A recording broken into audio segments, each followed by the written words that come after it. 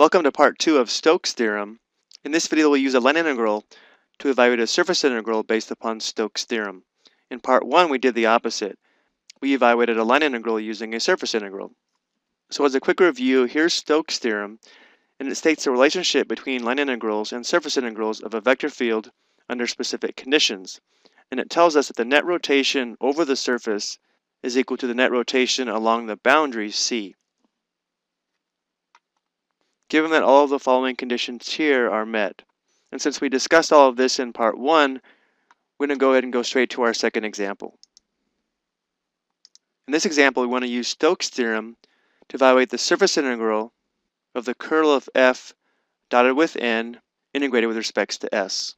And we have the given vector field and our surface is given by z equals 4 minus x squared minus y squared above z equals 0. So let's go and take a look at this graphically first. So our surface is this blue surface above the yellow plane. So our curve C would be the circle in the xy plane. Remember, based upon Stokes' theorem, we're going to assume the orientation is counterclockwise and the surface has a positive orientation.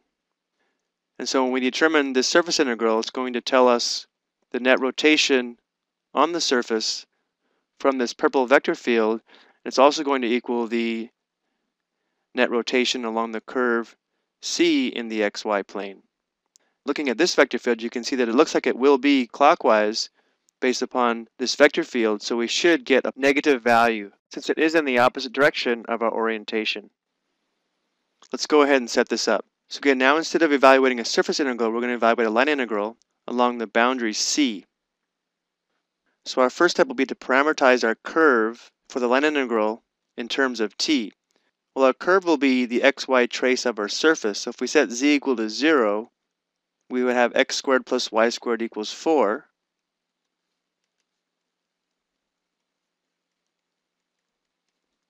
So we have a circle of radius 2. So r of t is going to be equal to 2 cosine t, 2 sine t, 0. And we'll also need the derivative. So we'll have negative 2 sine t, 2 cosine t, and 0. And we should also recognize by now that if this is our curve, we know that t will be on the closed interval from 0 to 2 pi. I think we have everything that we need. Let's see if we can set up this integral in terms of t. The limit of integration will be from 0 to 2 pi. We need to rewrite our vector field in terms of t using our parameterization. So we have x equals 2 cosine t, y equals 2 sine t, and z would be equal to 0. So our vector field is z comma negative 2x comma x times y. Well, z is 0. Negative 2x will be negative 4 cosine t. And x times y is going to be 4 cosine t sine t.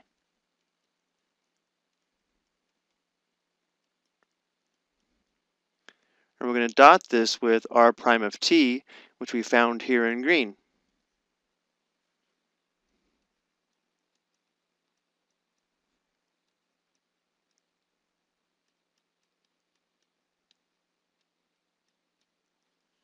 Let's go and determine our dot product.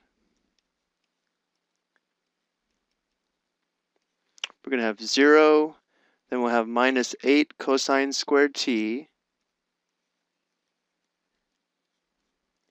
and then 0.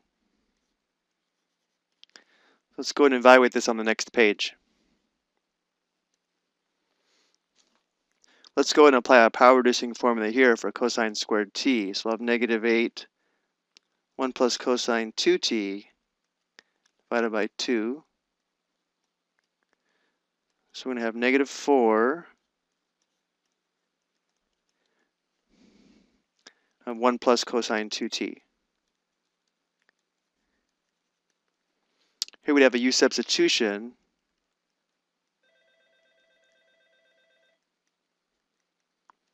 So in converting to u, we have an extra factor of 1 half. So we'll have t plus 1 half sine 2t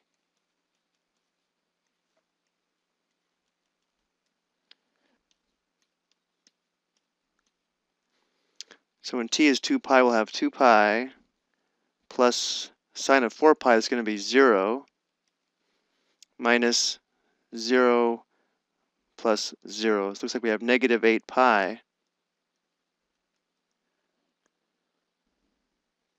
So this tells us that a net rotation would be opposite of the orientation. So in this case, it looks like it should be clockwise. Let's go ahead and look. Now it's not easy to tell, but it does look like the way this vector field is oriented, the net rotation would be clockwise in this direction. And therefore, as you can see, we had a negative value. And that's going to do it for Stokes' theorem. Thank you for watching.